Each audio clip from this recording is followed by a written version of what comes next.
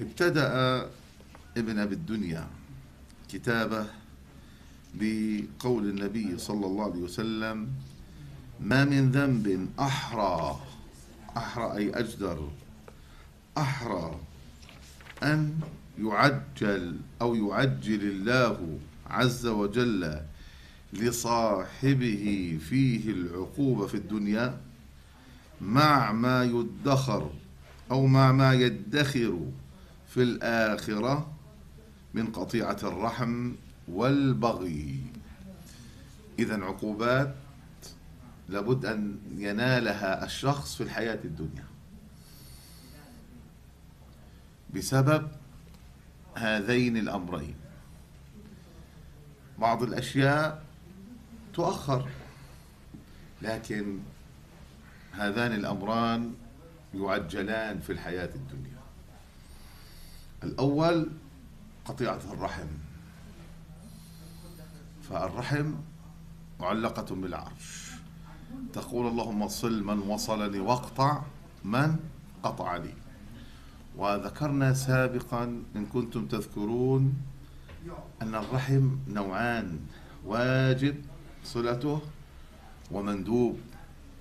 فالواجب ما اشتركت أنت وإياه في رحم. من جهة أمك أو من جهة أبيك. وما على وما نزل.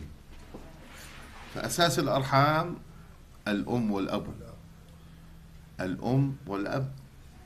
فبالتالي هذا الرحم من جهة الأم اشتركت أنت وأخوك. أنت وأمك. أنت وأختك عفوا. وما تفرع أولاد الأخ. أولاد الأخت. بنات الأخ بنات الأخت. والرحم ليس محصورا بالإناث وإنما يشمل الذكور والإناث. ولا يقال كيف أزور أنا الصغير ف... وأنا كبير؟ لا.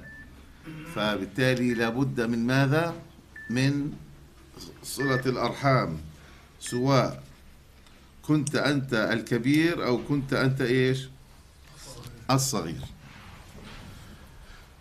على كل حال الكلام في صلة الأرحام وما يتعلق بها من أحكام شيء كثير ووفير لكن يهمنا أن نتقي الله عز وجل في أرحامنا.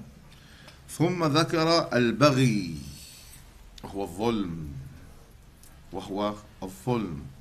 فأن تكون ظالما فلا بد أن يأتيك العذاب في الحياة الدنيا. لابد أن يأتي العذاب في الحياة الدنيا.